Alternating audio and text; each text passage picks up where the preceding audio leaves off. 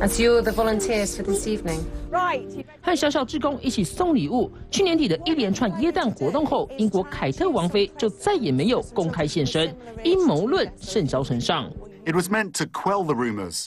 A smiling Princess of Wales with her three children, looking the picture of health. But instead, it fueled them. 最近的 P 图丑闻让外界更加好奇凯特去了哪里。如今有传言指可能和小三有关。Amid the conspiracies surrounding Kate Middleton's whereabouts, another woman's name is also making headlines Rose Hanbury. 四十岁的罗斯曾当过模特儿，而且出身贵族，曾多次受邀出席王室活动，包括二零一七年的国宴，当时就坐 在哈利王子的旁边。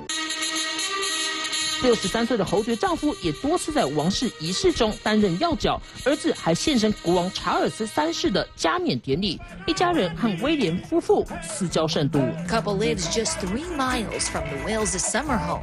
二零一六年，罗斯在自家城堡举办募款晚宴，两家人还因此同框。但威廉夫妇随后在 IG 分享，却刻意裁切照片。二零一九年就爆出威廉王子和罗斯的双 P 丑闻。The royal family announcing the 42-year-old had successful abdominal surgery, and after another 10 to 14 days in the hospital, they say she will recover at home. 凯特一月底的腹部手术有传言指是罗斯怀了威廉的孩子，和凯特摊牌，两人大打出手，最后罗斯拿利刃刺伤凯特。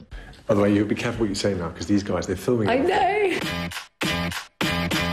是否为了顾及王室形象，用病号掩盖外遇丑闻，不得而知。但可以肯定，只要威廉王子持续单独现身，留言就可能越来越失控。三立新闻上头报道。